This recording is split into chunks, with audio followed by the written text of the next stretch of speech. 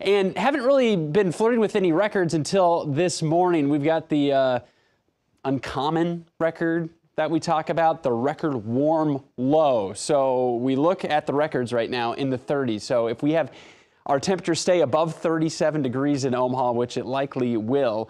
Uh, we're going to break the record, probably shatter the record. The low temperature so far this morning is 44 in Omaha, 45 Lincoln and Norfolk. And the temperatures right now at 5:15 in the morning are even warmer than that. We're seeing a lot of mid and even upper 40s, 49 in Lincoln, 47 here in Omaha, Norfolk, 43 in Harlan.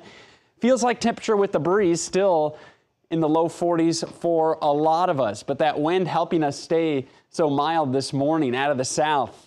10 to 20 miles per hour already. You've got that south breeze with the cloud cover that really prevents those temperatures from dropping.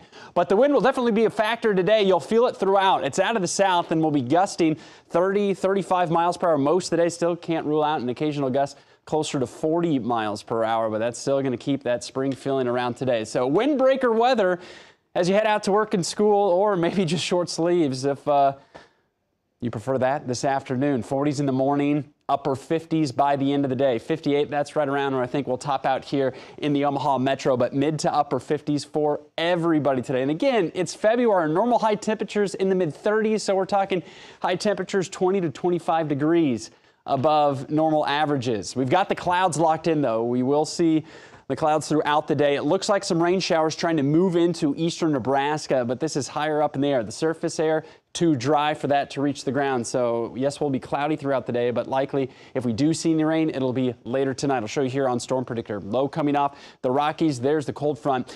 As we head throughout the day, keeping the clouds around, you see the white lines, those are the isobars. The closer they are together, the stronger the winds will be. So we got the strong south wind ahead of the front. We'll likely see some more showers and possibly some thunderstorms out in western Nebraska. I know it's February. You can get thunderstorms this time of year, but still going to be breezy. Air may saturate enough to squeeze out a few light scattered showers tonight. Again, won't really amount to much and then push off to the east. Front still on our doorstep tomorrow morning, so we're still going to be fairly warm to start. Likely get temperatures back in the 50s. The front will move through and eventually that cool air will wrap behind it. In any spotty showers more likely north of the metro for Thursday. So enjoy the spring warmth today, tomorrow, as that cooler air wraps around, will knock temperatures back still, again, above average, but compared to what we've experienced, it will uh, cool us down a bit, upper 40s on Friday, and then dry with low to mid 40s continuing into next week.